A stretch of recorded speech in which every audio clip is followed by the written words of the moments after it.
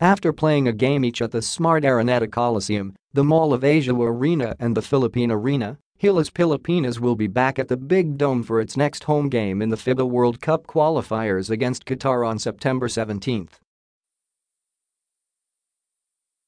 But in keeping with the FIBA order, the Philippine-Qatar match will only be open to FIBA and Samahang Basketbol ng Pilipinas officials plus a limited number of covering media.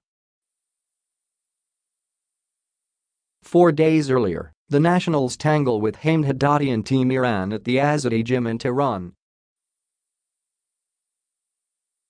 In other Group F matches on September 13, Kazakhstan plays host to Japan, Qatar will be at home in Doha against Australia, while Syria plays New Zealand in Lebanon. Because of war at home, Syria's home games are being played in Lebanon. Iran tries to firm up its hold of a share of the lead, while the Philippines seeks to forge a tie at 5-2 in their Tehran Seto. Coach Yeng Guiao still yet to finalize his lineup pending FIBA's rule on the status of Greg Slaughter. It's being processed, said Gilas team manager Butch Antonio in their hope for Slaughter to be declared a regular national player and not a naturalized player under FIBA's eligibility rule.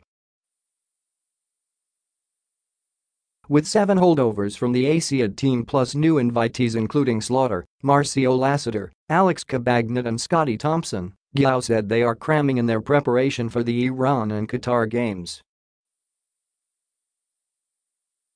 But Guiao is confident everyone would be able to adapt into the system in time because of their high basketball IQ. Dottie said it's more of a challenge for him to be able to orchestrate these talents and make them play good basketball together as a team. During the Asian Games, Guiao and his staff have taken a look at both the Iran and Qatar teams.